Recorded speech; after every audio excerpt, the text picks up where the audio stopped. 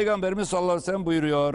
İza temenna ahadukum sizden biriniz istediği bir şeyin meydana gelmesini arzuladığında evet temenni e, istikbalde bir şeyin olmasını istemek. Temenni budur. Şimdi tabii iyi şeyler temenni edilir. Kötü şeyler temenni edilmez. Nereden biliyorsun? Kur'an-ı Kerim'de var. İnsanoğlu hayrına dua ettiği gibi kötülüğüne, şerrine de dua eder diyor. İnsanoğlu acelecidir ve selam. Şimdi böyle konuşuluyor. Konuşurken, durup dururken Allah belamı versin filan. Ulan ne bela okuyorsun kendine? Yarın başına bela geldi, onun çık, ağzından çıkanı yazıyorlar çünkü. Geldi icabet saatine rastladı, başına bela geldi. Ondan sonra kurtarın beni diye yalvarıyorsun. Sen kendin istedin ya. Allah belamı versin şu şöyledir filan. Buna gerek yok. Bela okunmaz. Şer temenni edilmez. Ölüm de ölüm de temenni edilmez. Evet. Ölüm de temenni edilmez. Sen ne kadar temenni etsen zaten Allah yerinde senin canını alacak. Uzamaz, eksilmez. O onun kanunu hiç şaşmaz. E, Ölümü temenni etmek de iyi değil, yanlış. Bela okumak kendine yanlış. Kur'an'la sabit yanlış. Kötü şeyi temenni edilmez. Allah beni kahretsin. Ulan ne söylüyorsun? Kahrettiği zaman da ortalığı belbeleye veriyorsun. Ayağına diken bassa yetişin yandım diyorsun. İnsanoğlu böyle. Böyle insanoğlu. Ama iyilik geldi mi insanoğlu kimseye söylemeden usulca kimseye haber vermez iyiliği. Fakat başına bir fela geldi, geldi mi ortalığı yıkar, velveleye verir. İnsan böyle acelecidir. Kur'an-ı Kerim'de bunlar beyan edilmiş. Evet kötülük temenni edilmez. Gelecekte olan bir hayır işini istemeye temenni denir. Evet.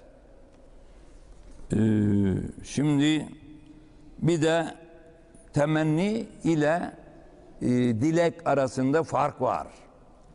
Temenni olmayabilir. Olmayacak şeyler de istenem, istenmeye temenni denir. Onun için temenni kelimesi pek iyi değil. İstiyorum de kesin, kesin olacak şeyleri, hayırlı şeyleri iste. Böyle bir sizden biriniz bir temennide bulunduğu zaman, bir şey istediği zaman fel yanzur baksın. Evet. Yani düşünsün. Yani düşüne düşüne istesin. Düşüne düşüne istesin. Şimdi bizim diyor 10 sene diyor çocuğumuz olmadı. Etekle para döktük. Oldu hocam. Oldu ama gece gündüz uyutmuyor bizi. Ne yapacağız şey? Sus. Sen istedin bak 10 sene durmadan yattın kalktın dua ettin. Sabret bakayım. Allah dediğin yerine getirdi. E, bu insanoğlu böyle işte. Sıkışınca da bir oda sızlanmaya gidiyor. Sen 10 sene yalvardın ya. Allah da bak vermiş sana çocuk. Sabret bakayım. Sabret. İşte böyle çocuk yetişmek öyle kolay mı zannediyorsun sen? O çocuk sahibi babalar evet çok büyük nimet. Çocuk da imtihan sebebidir. İmtihan kimisi çocuğunu çok sever, kıyamaz. Oradan onun yanlışlıklarını göz yumlar, oradan kaybeder. Kimisi de çocuklarına gururlanır, benden arkalı var mı der, hava atmaya kalkar, oradan gidip kaybeder. Çocuk imtihan sebebidir. İnneme emvalüküm ve evladüküm fitne. Peygamberimiz sallallahu aleyhi ve sellem bunu yaşamış, ifade ediyor. Hutbe okuyormuş. Mescid-i Nebevi'de Hazreti Hüseyin'i çok seviyor. Sevilmeyecek adam olsa değil mi? Sevilecek insan tabii. Çok seviyor. O hutbe okurken Mescid-i Nebevi'nin önü kumluk. Orada o da koşturuyormuş çocuk. Koştururken ayağı bir tökezlemiş, yüzüstü kumun üstünde şöyle sürtünmüş, buraları çizilmiş, başlamış velveleye. Hutbeyi kesmiş peygamberimiz konuşmasını. Gitmiş onu öpmüş, koklamış, yatıştırmış, gelmiş. Ya demiş Allah evlat ve mal fitne dedi, imtihan dedi. Kaybettim imtihan, dayanamadım yahu. E, koca peygamber, peygamber efendimiz Hazreti Hüseyin Efendimizin ağlamasına dayanamamış. Sen de şimdi sabah ezan okunuyor. Oğlan 18-17 yaşlarında bıyığı yeni terlemiş. Ezan okunuyor, sen kalkmışsın namazlı abdestli hanımın, sen öylesin.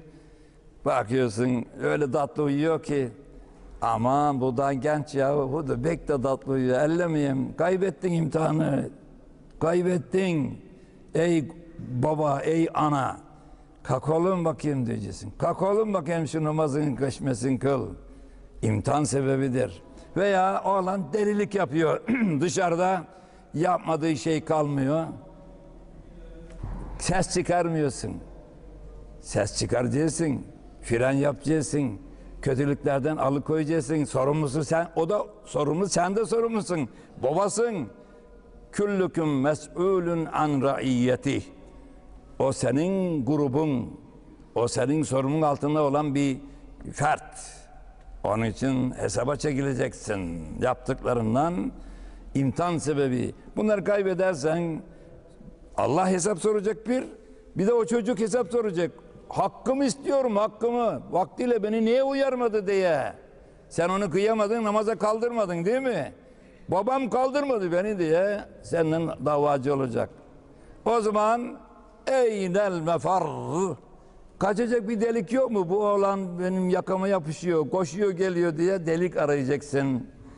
Bunlar düşünerek güzel peygamberimizin tarif ettiği şekilde besmele ile yatağa gir, helal lokmayı yedir, 4 yaşında kelime-i tevhid öğret, 7 yaşında namaz, din, iman onları öğret, 10 yaşında hadi bakayım fiilen tatbikat yaptır, kıldır. Mecbur değil ama alış, ya, ağaç yaş içen eğilir. Ondan sonra bülüğe erince kesin namaz kılacak, oruç tutacak. Sen de ondan sorumlusun hadi kılacaksın diye gerektiğinde onu biraz sıkıştıracaksın. Yani kılsın, yapsın diye, dini emirler yapsın diye biraz artık o neden anlıyorsa o şekilde e, terbiyesine çok dikkat edeceksin. Görevini yaptın, öldün. Evet. Ondan sonra yan, yan yön bastı, karıştırdı. Ha, o zaman ben görevimi yaptım, her şeyi yaptım ya Rabbi diyebilirsin ama namaza kaldırmadıysan, yanlış işler yaptığı zaman daha çocuk bu ya diye üstüne gitmediysen hesap vereceksin. O çocuk da senden davacı olacak. Bunları düşünerek titiz davranmalı. Çocuk terbiye etmek gece teheccüd namaz kılmaktan üstündür. Daha üstündür. Neden? Toplumun bir bireyidir. Toplumun bireyleri, fertleri güzel olursa, herkes ailesindeki çocukları güzel terbiye ederse, o mutlu bir topluluk olur. Mesut, bahtiyar, güven içinde, huzur içinde. Ama herkes çocuğunu yetiştirmezse böyle, o zaman her şey birbirine karışır, emniyet kalmaz, can emniyeti kalmaz, mal emniyeti kalmaz. Evet bunları hep düşünerek herkes görevini yapmalıdır. Şimdi evet böyle bir şey şey diyorsun, temenni ediyorsun, temenni ediyorsun. Ederken ağzından çıkanı çok dikkat et. Öyle diyor Peygamberimiz. İze temenna ahadukum sizden biriniz bir şey istediği zaman gelecekte fel yanzur baksın, yeteemmel, düşünsün, evet ve yetedabbar tedbir olsun, ünlem alsın, fizibilite yapsın. Bir şey söylüyorum bu olduğu zaman lehime mi aleyhime mi, hayrıma mı şerrime mi? Evet olur mu olmaz mı? Tabii Beni uçur ya Rabbi yedinci kata. Olmayacak şey ya. Kanun var. İnsanoğlu uçmaz. Kuşlar uçar. Sen hayvan mısın? İnsansın. Ha bu Allah'ın emirlerini bilirsin. Allah'a teslim olursun. Bakarsın Allah uçurur. Peygamberimizi uçurmuş. Miraca çıkarmış. Mümkün. Olmayacak diye bir şey yok ama kanun ne? İnsan uçmaz. Uçacağım diye bu, men, bu damdan öbür dama atlamaya kalkarsan düşersin. Kolun bacağın kırılır. Allah'ın kanunları var. Boşlukta kalan insan düşer yere. Yer çekimi kanunu diyorlar buna. Allah'ın sünnetidir bu kanunu. Ha bunları bilerek böyle düşüneceksin. Ona göre yani olmayacak duaya amin denmez diye sizin aranızda var ya. Bu gibi şeylere ağızdan çıkana dikkat et. Dikkat et. Aleyhin olacak şeyler temenni etme. Düşün. Tedbirini al. Hayrına olan şeyleri iste. Ve illa yoksa keffe anhu söyleme, isteme. Evet. Yanlış şeyler isteme. Hangi durumda olursa olsun hayırlı şeyler iste. Çünkü insanın ağzından çıkanı yazıyorlar. Götürüyorlar arş alaya. Gereği yapılsın emri çıktığı anda ondan sonra da yetişin komşular, yetişin millet ben mahvoldum demeye gidersin. Sen istedin bunu vaktiyle. Düşüncesiz, bak önünü güzel söylüyor bak. Bir şey isteyeceğin zaman kulağın duysun diyor. Düşünden düşüne söyle. Ağzından çıkanı kulağın duysun. Ona göre iste istediğini. Ne istediğin iyi iste. Evet. Şimdi en keskin dualardan birisi ana duası. Baba duası. Canını yakmış çocuk. Ciğer bağından yanası. Gözün kör olsun. Bağırıyor şimdi. Ondan sonra çocuğun gözü kör oluyor. Hocam başı. Ben, sen yazdırdın ben nasıl bozdurayım? Birinci derece o çocuğun üzerinde hakkı olan sensin. Hoca ne yapsın bu? Sen yazdırdın vaktiyle böyle dedin. Gözün kör olsun dedin, kör oldu şimdi. Ciğer bundan yansın, yandı.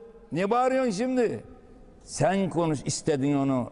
Yok dikkat edin diyor. Ne güzel söylüyor yani.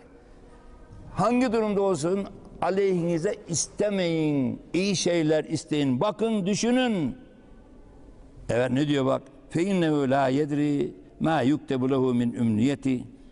Evet yazılı verir bilmez. Ne yazılacağını biliyor musun sen? Biliver ağzından çıkar. Buna dair e, çok var şeyler var. e, olaylar var. Bilhassa analar babalar bunun üzerine durmalı. Buhari Müslim hadisleri var. Beşik'te konuşan altı tane çocuk var. Birisinin İsa Aleyhisselam biliyorsunuz. Böyle daha çocuklar var. Böyle birisi de o Yemen'de e, kuyular kazdırmış o zamanın kralı tanrılık iddiasında ama müminler var. O kuyuların içine ateş odun yaktırmış, doldurmuş. Kendine tapma, tapmayanları, Allah'a inananları atıyor ateşin içine. Evet, ashab-ı derler ona. Kur'an-ı Kerim'de var. Kutile ashab-ı uhdud ennâr zâtil vakûd çok son derece akkor halindeki ateşte yaktı o zamanın şeysi onu. Bir çocuk mümin mümine ana çocuğu kucak emziriyor. Şıpır şıpır alıyor. Sıra ona geldi mi ateşe atacak kral, zamanın kralı. Zalimi, kafiri. Çocuk bırakmış memeyi. Anacığım ne ağlıyorsun demiş ya. Niye ağlıyorsun? Evet. Ben kendimi ağlamıyorum oğlum demiş. Ben dünyadan hayatımın tadını çıkardım, kamımı aldım, zevkimi aldım. Sen daha ömrün baharındasın. Hayatın tadını almadın. Hiç dünyaya geldin ama dünyanın tadını almadan yok olacaksın, ateşe gideceksin. Ya hayır ana demiş biz cennete gideceğiz. Sen ne ağlıyorsun? Çünkü bir konuşan çocuğun birisi var. Birisi de böyle Buhari'deki Müslim'de anlatıldığına göre bu söyledim e, ben İsrail döneminde olmuş. Ee, anne çocuğunu emziriyor. Böyle sokaktan geçiriyor geçerken bir atlı gelmiş. Atlı Yavuz atta böyle gösterişli at askerler gösterişli olur. Ta eskiden beri üniformalı böyle düşmana heybetli görmek için bıyık da bırakabilir. Onun için Yeniçerilerin bıyığı vardır. Ama şimdi değil. Yani harp yok, darp yok. Böyle uzatmış. Yok o. Öyle diyor Peygamberimiz. Ben yasaklamıyorum. Bıyıklarınızı kısaltın diyor. Böyle pis bıyık, pos bıyık istemiyor Peygamberimiz. Ben de sana duyuruyorum günü sen bilirsin de. Ama askerdeyken böyle vurabilirsin. Neden? Kabadayı heybetli görünmek için. E şimdi harp yok, darp yok. Ne işin var böyle uzatmış böyle? Evet. Böyle bala bıyıklı, süslü, güzel bir Yavuz ata binmiş, üniformalısı pırıl pırıl. Anası bakmış, Ya Rabbi demiş benim çocuğumu böyle bir sipahi yap. Çocuk memeyi bırakıvermiş hemen. Anamın dediği gibi yapma ya Rabbi demiş. Yine başlamış emmeye. Evet. Ondan sonra bir yere gitmiş o ana, gene çocuk kucağında. Bir kalabalık, bir delikanlıyı dövüyorlar kalabalık. Yaklaşmış, niye dövüyorlar? Bu kimsesizmiş, açmış, bir ilaçmış. Çiftlik ağası bunu iş, işine almış, çiftliğine almış. Orada kahya yapmış. Bu hain çiftlik sahibinin karısını, kızını ifade etmiş, ırzına geçmiş. Ondan diyorlar. Allah'ım demiş benim bu o dövülen adam gibi yapma çocuğumu. Çocuk yine bırakmamış memeyi. Allah'ım benim bu çocuk gibi yap demiş. Anamın dediğini yapma. Demiş ki işin geldiği zaman konuşuyorum. Bana hiç konuşmuyorsun. Evet çocuk dile gelmiş. Demiş ki anacığım ilk o gö- gördüğün senin yaldızlı Yavuz ata binen o çocuk asker gücünü, kuvvetini, yetkisini zulme alet ediyordu. Zalim bir askerdi o. Beni İsrail döneminden söz ediyorum yani. Günümüze gelmiyorum. Beni İsrail döneminden misal. Zalim bir askerdi o. Sen beni zalim yapmak istedin. Ananın ağzından çıkan da gidiyor hemen arşa gereği yapılmak üzere. Ben de hemen zalim olmak istemiyorum anacığım. Orada durdurdum demiş. Senin duanı yolda kestim, önünü durdurdum. Öteki çocuk namuslu çocuk, iffetli çocuk. Esas çiftlik ağasının karısı, kızı ahlaksız. Pislik yapıyorlar. Bu çocuğun üstüne atıyorlar. Adam oraya gelmiş ağız yuvar, dili yok böyle. Ne deseler bir şey itiraz edemiyor. Çünkü ağanın hizmetçisi iftira ediyorlar buna. Boş boşuna dayak atıyorlar. Mazlum bu, iffetli. Sen beni böyle yapma dedin, iffetli olmasın dedin. Ben de hemen yazacaklardı, durdurdum yine.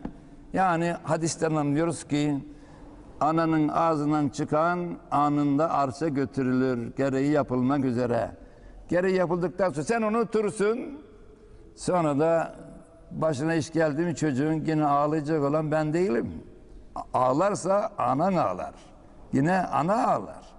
Ondan sonra geliyor yetişin kurtarın. O, sen istedin bunu. Ne güzel söylüyor güzel peygamberimiz. Ağızdan çıkanı kulağınız duysun. Kim olursa olsun. Allah'ım para kazanayım da ne olursa olsun deme. Hayır olsun de. Para kazanırsın, evlat gider, şu gider, bu gider.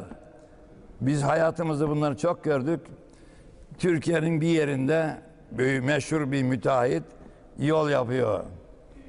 Çok büyük para kazanmış efendi. Bir tek oğlu var herifin. Nasıl diyor Attigar artık söylemeyelim teşhis olmasın. Paraları aldığı gün oğlu Mercedes'le giderken bir trafik kazasında paramparça olmuş. Hadi buyur paralar senin olsun gari. İşe yarar mı? Ne olursa olsun diye dua etme. Hayır dua et. Ağzından çıkana kulağın duysun. Hemen gereğini yapıverirler diyor. Bilemezsin diyor. Evet Allahu Teala'nın icabet saatleri vardır. Ve lehu Teala saat la yuvafikuha sual sual sailin illa vaka'al matlub alel ithr. Böyle saatler vardır. Anında gereği yapılır, yazılır. Sen de onu bozduramazsın sonra. Kim bozduracak onu yine? Yine ana, yine baba, o yazdıran. Geceler kalkacak, kanlı gözyaşlar döktürecek. Ben ağzımdan böyle bir yanlış çıkardım. Ben hata ettim Rabbim sen bunu yapma diye yine sen bozduracaksın. Ama bir defayla olmaz bu iş. Tebük seferinden kalanlar 50 gün hiç uyumadılar. Sabahlara kadar kanlı gözyaşları döktüler. Çabuk olmaz bu iş. Öyle kalktım bir defa yok yok. 50 gün uğraşacağım da onlar sahabiymiş. Sen sahabin yanına bile varamazsın. Senin kaç gün ağlaman lazım kim bilir böyle bir kötülük dua ettiysen. Evet Peygamberimiz sallallahu aleyhi ve sellem onları söylüyor. Fel hazar min temnil evet. Sakın ha sakın ha siz olun. Yanlış şey istemeyin istemeyin buyuruyor Peygamberimiz sallallahu aleyhi ve sellem. Evet bu dilinize hakim olun. Hep bunlardan geliyor bu işler canın yanıyor.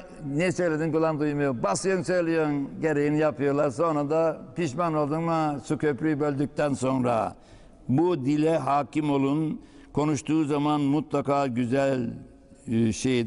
Şimdi bir misal veriyor. Ben tabii naklediyorum. Bu hoca, üstaz çok güzel şeyler misal veriyor. Efendim Hazreti Hüseyin biliyorsunuz eee, son halife yani peygamber sülalesinden Ebu Bekir Efendimiz halifeyi seçmişler. Her bütün sahabiler ona biat etmiş. Hazreti Ali dahil. İkinci Hazreti Ömer seçmişler, seçimle gelmiş. Ebu Bekir de öyle. Hazreti Ebu Ali dahil hepsi ona biat etmişler. Hazreti Osman gelmiş, Ali dahil herkes ona biat etmişler. O da seçimle gelmiş. Ondan sonra İslam'ın arasına fis sokmak isteyen Abdullah Sebe adındaki bir Yahudi dönmesi, göbeğine kadar sakallı, kocaman kavuklu, cübbeli, süper zeki, iyi Arapça tefsir, hadis, fıkıh öğrenmiş Kur'an, gidiyor Müslümanların arasına fis sokmaya. Ali peygamberin damadı hem amcasının oğlu o büyüttü onu. Neden Ebu Bekir, Ömer, Osman öne geçiyor? Onun olmalıydı. Ötekiler zalim filan diye Mekke'ye gitmiş tutmamış. Medine'ye gitmiş kovmuşlar onu. Ama Kahire'ye gitmiş evet orada dikiş tutturmuş. Orada isyancıları toplamış. Neticede Hazreti Osman'ı katlettiler ve sonra Hazreti Ali halife yaptılar Hazreti Ali'yi. Hazreti Ali de biliyorsunuz şu oldu bu oldu oraya girmeyelim şehit ettiler hançerlediler mübareği. Ondan sonra Hazreti Hasan'ın oğlunu getirdiler. Hazreti Hasan'ı da e, Medine'de Şam'da da başka e, halife var. İki başlı olduğu İslam alemi. Öteki ilk başlatan adamın derdi bu zaten. Müslümanlar iki başlı ayırmak, birbirine düşürmek. Başardı. Şimdi de Müslümanları şuncu buncu da ayırıp, ayırıp birbirlerine selam bile verdirmiyorlar. Hala aynı fitneciler devam ediyor. Kur'an-ı Kerim'de bunların hep cevabı var. İnnemel müminune ihva. Kıbleye dönüp namaz kılan adam mümindir, kardeşindir. Canından aziz bileceksin. Allah'ın ayeti bu. Hiç aleyhine dua edemezsin, beddua edemezsin. Aleyhinde bulunamazsın. Rabbena ufir lena ve li ihvanin lezine sebekuna bil iman ve la tecal fi kulubina gillen lillezine amenu. Ayet efendi bu. Halen yeryüzünde sağ olan müminlere karşı kalbimde hiç haset, fesat, kin, gıllı kış bırakma ya Rabbi der gerçek mümin. Bunu diyemiyorsan defterde kaydın yok. Allah'ın ayeti bu. Ondan sonra sen de selam vermiyorsun herife camiye giden adama. Müslüman mı bu diyorsun? Ya daha ne yapsın? Müslüman camiye geliyor. Bizi bu kadar birbirimizden koparmaya çalışanlar var. Hala var. Olacak tabii. Neden? İmtihan dünyası bu. İmtihan dünyası. O imtihanı sen başarman lazım.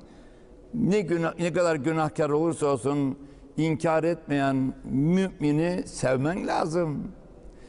Hocası kim olursa olsun, hangi memleketten olursa olsun, mümin olanı sevmek zorundasın. Allah'ın ayeti böyle yazıyor. Şimdi işte böyle o adam başarmış, Müslümanlar iki başlı yapmış.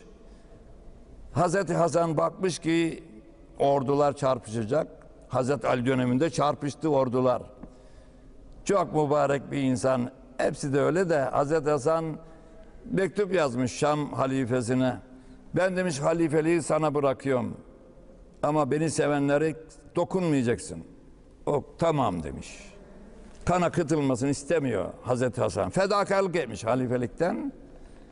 Ama zamanla günümüzde dolduğu gibi bu iktidar hırslıları, gözü dönmüş adamlar dünyada dünyada ben genel söylüyorum.